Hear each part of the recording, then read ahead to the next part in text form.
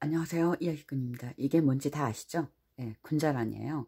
근데 집에 있는 건 그냥 평범한 군자란이고요. 얘는 줄무늬 군자란이라서 한 번 더 사봤어요 사무실에.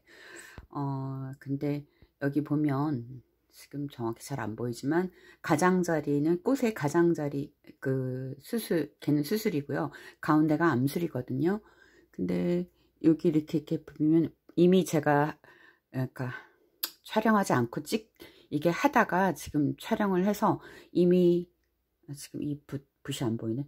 이 붓에 노란색이 들었잖아요. 이게 수술에 있는 발달되면 이렇게 흔들면 이게 나와요. 그러면 여기 암술이 얘는 지금 미발달됐는지 좀 접혀 있고 막 그래요. 배송될 때 어, 그래서 그런지. 그리고 음, 여기를 보면 가운데 그 빨, 붉은색이 있죠? 그게 암술이거든요 그러니까 요 수술을 해서 이렇게 하면 음 이렇게 열려요. 근데 저는 이렇게 노라 이렇게 빨갈 때까지 어 그 기다리지 못하고 어 그 전에 요런 초록색의 요런 거일 때 요 속을 까면 씨가 나와요. 그래서 개를 심었는데 어 단 한 번도 사실은 싹이 안 나왔어요. 그래서 이상하다 그랬는데 어 이렇게까지 오랫동안 어, 놔둬서 색깔이 이렇게 빨강색 정말 예쁜 빨강색이 될 때까지 어, 놔두는 건가 봐요. 이렇게 발달된 건가 봐요. 그러면 이게 이 꽃이 피고 그러니까 꽃이 피고 다시 이 열, 열매가 씨앗이 맺혀질 때까지 몇 달 걸려서 저는 그거 갖고 심었는데 한 번도 성공을 못했어요. 그런데 지금 이 배송된 걸 보니까 빨강색 그리고 무려 이 다시 꽃필 때까지니까 1년이나 걸렸잖아요 그러니까 1년 만에 1년 만에 이제 이때 채취해서 아마 심는 건가 봐요. 제가 그동안 잘 몰라서 어, 검색을 안 해보고 제 마음대로 왜냐면 나머지 나팔꽃 씨앗이니 모든 씨앗들 채취, 채취해서 다 심으면 다 나왔는데 군자라는 왜 안 나오지 그랬거든요. 그래서 요번에는 다시 한번 시도하려고 합니다. 예. 어, 일단 상토로만 해서 심으려고 그러는데 어, 지난 여름에 누군가 정말 귀인이 와서 저한테 열매를 쳐 줘서 먹고 그 씨앗이 굉장히 컸어요. 그래서 잘 자랐어요. 싹도 잘 나고.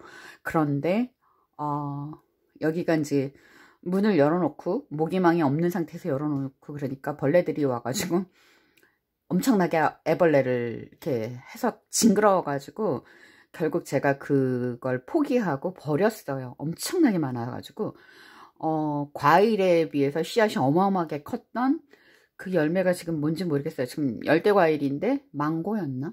애플 망고. 어, 아, 애플 망고. 어, 씨앗까지 나고, 아, 그 싹도 나고, 아니야, 씨앗에서 싹도 나고, 그래서 참 좋았는데, 벌레 때문에 버렸거든요. 혹시 얘도 벌레 생길까봐 걱정이 되긴 하지만, 일단, 쟤를 심어 보겠습니다. 준비하고 올게요. 어, 제가 이때까지 실패했던 군자란의 씨앗에, 씨앗에서 어, 싹 틔우기 이번에는 올해는 꼭 성공하고 싶습니다. 어, 저에게 제게 우연히 지금 음, 줄 줄무늬 군자란 그래 그래서 사보니까 저는 사실 노란색이나 어떤 색깔로 줄무늬인 줄 알았는데 그냥 주름이 있는 줄무늬인가 봐요. 일단은 저기 그 1년이나 된 저 씨앗을 채취해야죠. 음. 그러면 일단 소독한 가위로 가까이 가서 얘를 자르겠습니다. 이거 그러니까 작년에 꽃대였겠죠. 꽃대에 부비부비 내지는 어, 곤충들이 와서 이거는 지금 농장에서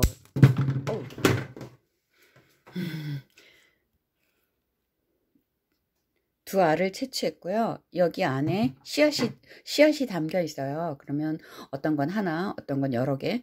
그러니까 이, 이, 이 지금 이 군자단 꽃을 어, 수술이 가장자리에 많이 있는 게 둘러가면서 있는 게 암, 수술이고요. 저기 가운데 있는 게 암술이거든요. 근데 암술이 이상하게 삐딱하게 좀 약간 꺾어져 있고 조금 이상해서 올해 이거 지금 꽃이 핀 상태 약간의 그런 상태에서 배성돼서 그런지 제가 키우던 군자란에 비해서는 암술이 좀 약해요 다들 지금 약한데 음, 여기도 지금 속에 붉은색 그것이 암술이거든요. 저 가운데 있는 거 가장자리들은 다 수술이고요.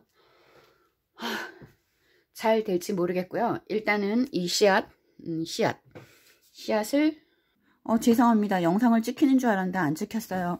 음, 요거 두 개였는데요. 두 개에서 하나는 여섯 개가 나왔고요.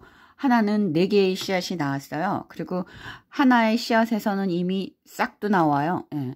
뿌리가 먼저 나오는 줄 알았는데 얘는 싹이 먼저 나오네요. 군자란이. 그러면 얘가 싹이면은 이렇게 심으면 되겠죠. 아, 그리고 이렇게 상토를 준비했어요.